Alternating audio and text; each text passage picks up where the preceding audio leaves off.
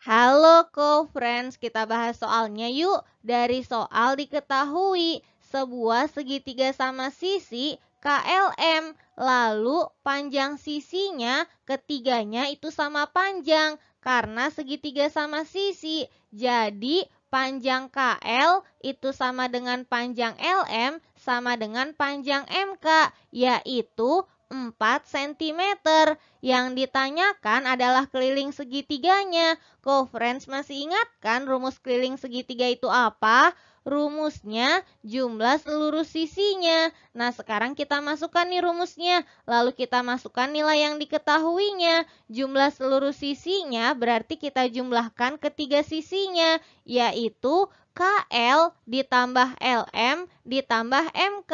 Kita masukkan nilai yang diketahuinya. Berarti 4 cm ditambah 4 cm ditambah 4 cm. Nah, sekarang kita hitung nih. Karena sama-sama penjumlahan, jadi kita hitung dulu dari yang letaknya lebih depan ya. 4 ditambah 4 itu sama dengan 8. Lalu 8 ditambah dengan 4 hasilnya berapa nih? Benar banget, 8 ditambah 4 hasilnya adalah 12.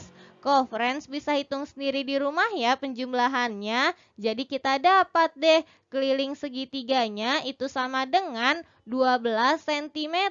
Kita tulis deh jawabannya. Selesai deh sampai sini. Gampang kan soalnya? Tetap semangat belajarnya kok friends.